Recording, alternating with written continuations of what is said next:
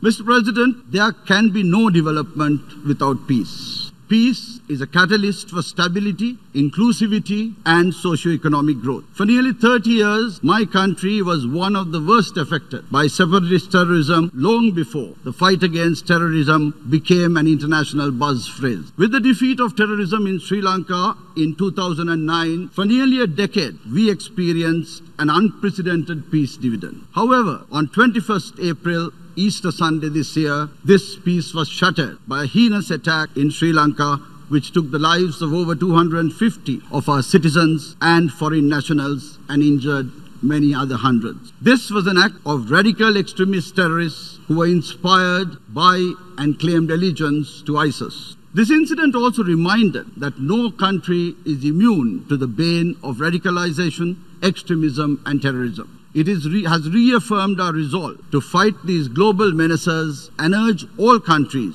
to work in collaboration to address the root causes. We thank particularly the UN Secretary General and our friends in the international community who unreservedly condemned the Easter Sunday attacks and supported the government of Sri Lanka in numerous ways.